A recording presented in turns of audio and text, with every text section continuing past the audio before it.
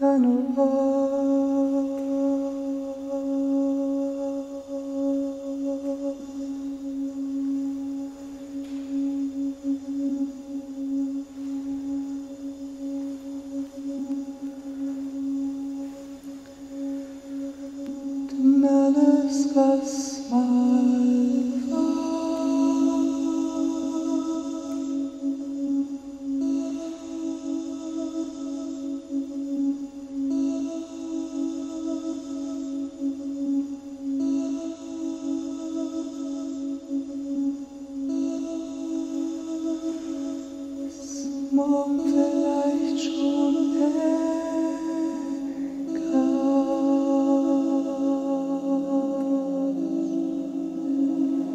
Spannend ist für mich in der Kunsthalle Göpping, dass in diesem großen Raum eigentlich alles zusammenfindet und innerhalb der Wände Konstellationen hergestellt werden, die dann wiederum mit den gegenüberliegenden Wänden korrespondieren.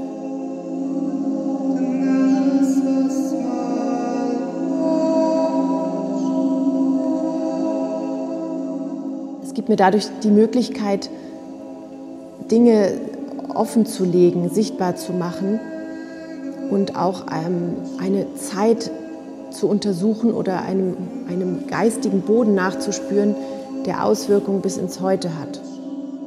Denn alles, was mal war, morgen vielleicht schon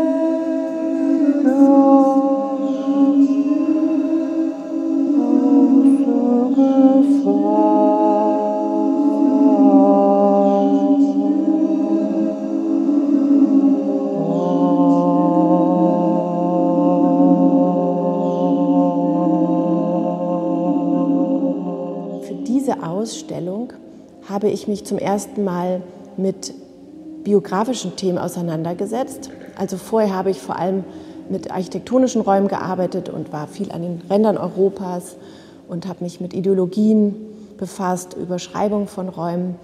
Und in dieser Ausstellung geht es gewissermaßen zurück zum Zentrum meines Fragens. Ich habe mich mit der Nachkriegszeit und Wirtschaftswunderzeit in Kassel, also in der BRD, beschäftigt.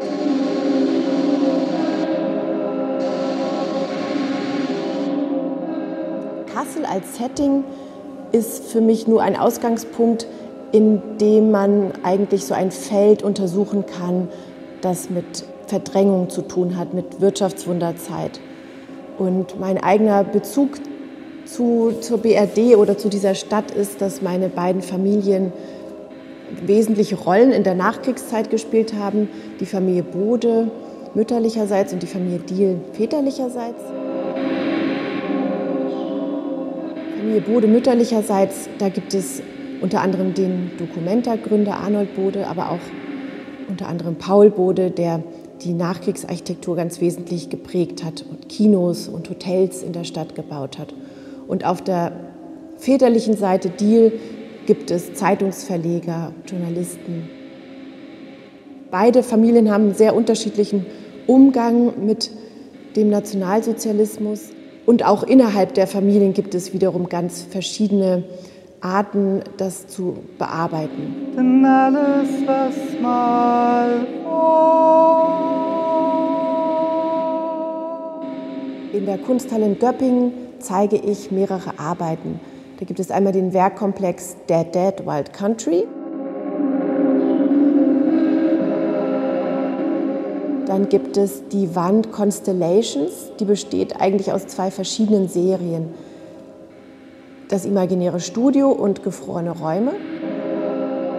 Zwei Filmarbeiten, einmal Mars und einmal Broken Repertoire. Des Weiteren sieht man in der Ausstellung Arbeiten von dem bildenden Künstler und Schlagzeuger Raphael Spressen.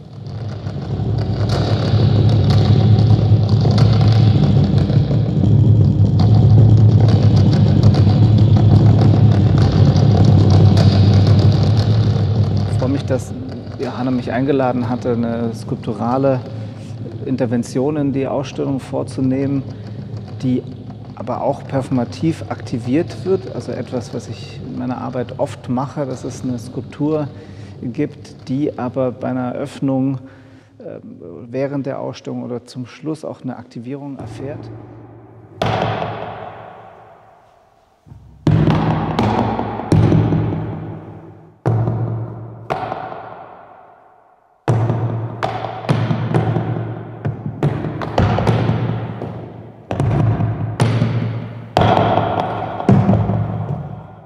Mitte des Raumes steht solitär, so eine äh, Soldatenfigur mit Fragmenten, die an Sprengstoffgürtel erinnern, aber auch an so eine Form des Korsettes oder der Körpereinschränkung. Da gibt es wie so eine formale Klammer eben auch zu den Kresnik-Arbeiten, was sich so verwebt, Fotografie und dann hier die Skulptur im Raum, ursprünglich aber die Kresnik-Arbeiten ja auch plastische Objekte, die am Körper getragen wurden. Da gibt es quasi wie so eine kuratorische Klammer, könnte man fast sagen.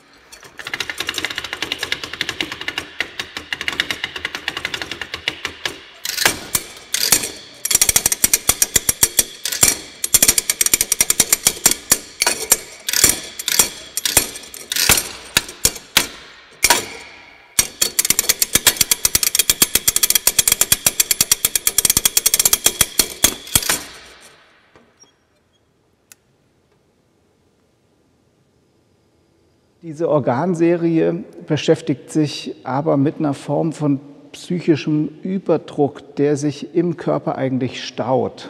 Ich glaube, da gibt es auch eine inhaltliche Verbindung zu den Themen, die Johanna interessieren in der Ausstellung.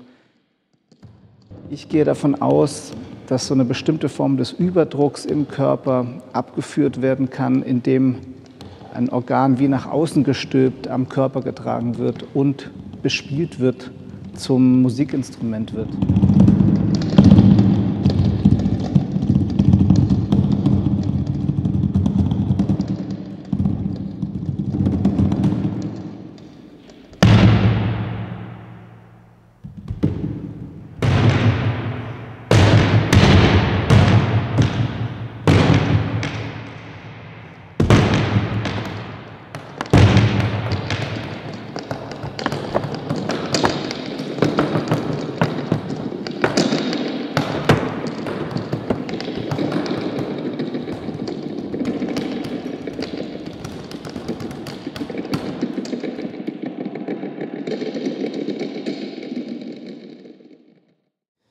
Erste Wand in der Ausstellung ist eigentlich eine Art Prolog. Da sieht man aus allen Arbeiten, die in dieser Ausstellung vorkommen, so ein Anklingen.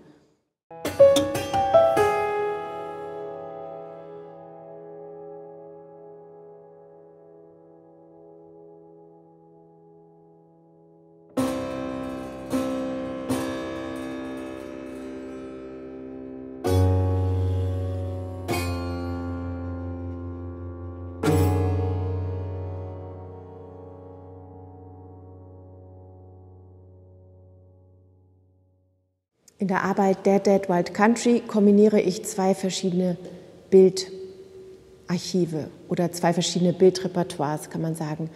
Das eine sind private Fotografien, Dias aus dem Nachlass meiner Großmutter, meines Großvaters. Und das andere sind Bilder, die ich selbst gemacht habe von Requisiten bzw. Prothesen oder Partialobjekten Objekten aus einer Inszenierung von Johann Kresnik an der Berliner Volksbühne.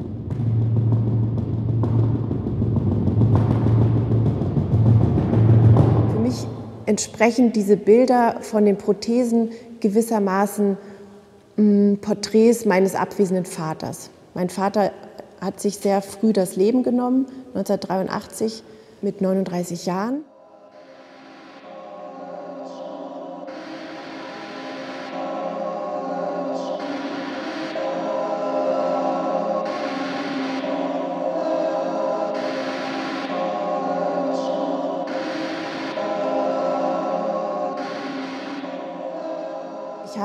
Sozusagen die Frage, inwiefern er auch an einer gewissen, mm, an einem gewissen Form des Schweigens und Nichtgesagten zerbrochen ist.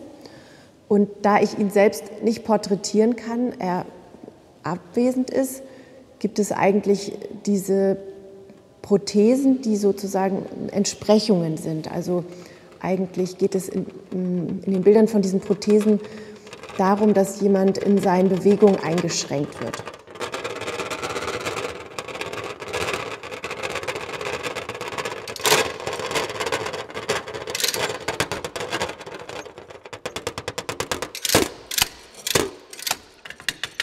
Es ist ein Spannungsfeld zwischen der Bewegung des Reisens, der Sehnsucht nach dem Exotischen, der Flucht, der Verdrängung gegenüber dem, der Generation des Sohnes, die versucht hat, mit Traumen umzugehen, mit dem, mit dem Schweigen, das sozusagen alles mit dem dunklen Kapitel des Zweiten Weltkriegs zu tun hat und des Nationalsozialismus vor allem.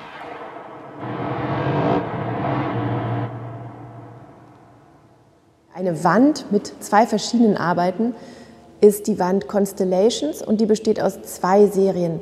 Einmal gefrorene Räume und das imaginäre Studio. Die sind unabhängig voneinander entstanden, diese Serien, und werden aber hier in eine neue Verbindung gebracht. Die Arbeit Gefrorene Räume zeigt Wohnzimmer und ähm, Innenräume, und die anderen Bilder zeigen Synthesizer und Apparaturen aus Tonstudios der Nachkriegszeit.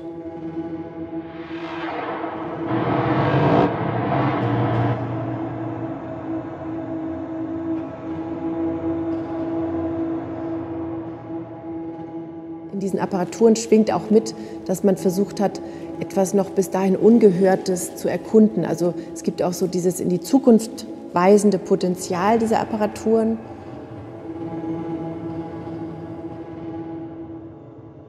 Diese Apparaturen, die unter anderem im WDR-Rundfunkstudio in Köln fotografiert wurden oder auch im SWR in Freiburg, wurden auch von Komponisten wie Stockhausen benutzt und manipuliert, sodass sie Klänge erzeugen konnten, die es bis dahin noch nicht gab oder die noch nicht gehört waren.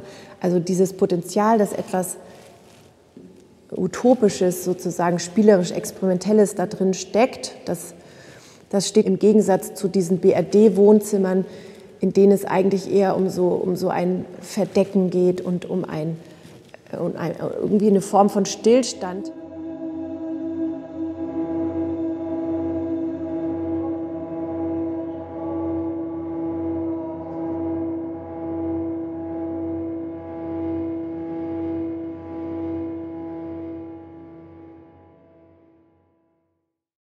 In der Filmarbeit Mars sieht man einen Tänzer, der mit sich selbst ringt in einem Setting der Nachkriegsmoderne. Die Grundlage zu diesem Film bildet ein Buch mit dem Titel Mars von Fritz Zorn. Dieses Buch war ein wichtiges Buch auch für meinen Vater und für eine ganze Generation. Und in diesem Buch ringt sozusagen der Protagonist mit der eigenen Krankheit und macht auch die gesellschaftlichen Umstände, in denen er aufgewachsen ist, vor allem die eigene wohlhabende Familie, die aber gefühllos und kalt ist, dafür verantwortlich für, seine, für seinen körperlich kranken Zustand.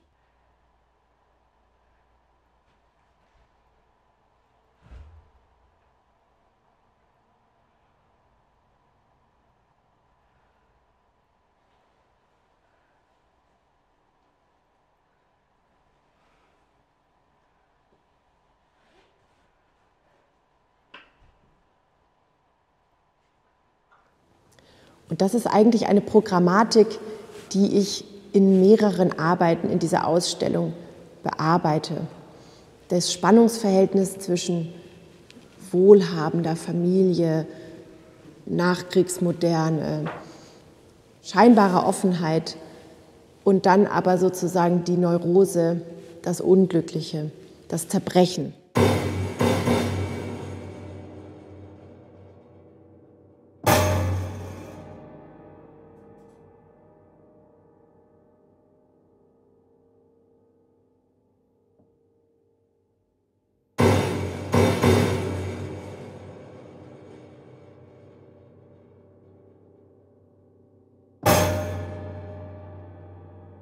In der Filmarbeit Broken Repertoire geht es um das Bearbeiten eines Klaviers mittels Objekte, die ich auch aus dem Nachlass, aus dem bürgerlichen Ambiente meiner Großeltern übernommen habe. Und diese Objekte, die eigentlich herrenlos bzw. damenlos geworden sind, die eigentlich ihrer Funktion beraubt worden sind, die bekommen eigentlich wieder ein, eine neue Lebendigkeit durch diese Arbeit.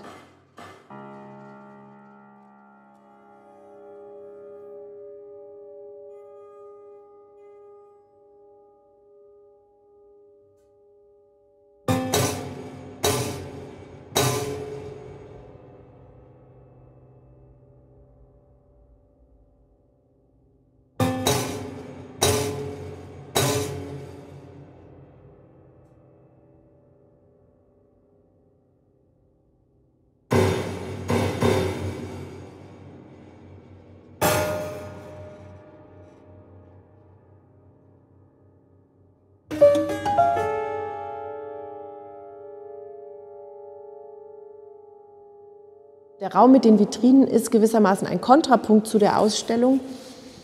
Alle Fäden aus der Ausstellung laufen dorthin und verdichten sich dort.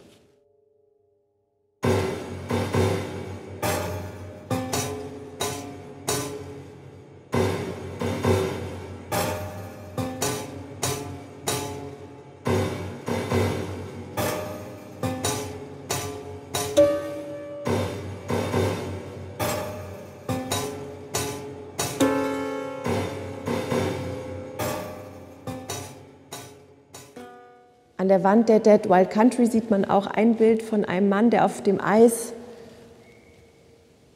balanciert. Und mich interessiert genau dieser Zwischenmoment zwischen Fallen und Balance halten. Und dann gibt es wiederum einen Bezug zu den, zu den Fotografien, die ich gemacht habe im Marini-Museum in Florenz. Marino Marini hat immer wieder die, das Motiv des fallenden Reiters behandelt. Und es gibt sozusagen diese, diese Form der Männlichkeit, die anerzogen wurde im Nationalsozialismus, dass man eben abgehärtet ist und dass der Wille gebrochen wird, man fügig, gefügig ist. Und ähm, also diese Untersuchung des fallenden Reiters steht eigentlich zum hero heroischen Männerbild konträr gegenüber. Und mich interessiert eigentlich diese, diese Ambivalenz der, der, Männlichkeit, die sich auch darin zeigt. Also der Mann, der nicht mehr der, der Held ist, und, sondern der fällt und der scheitert. Keine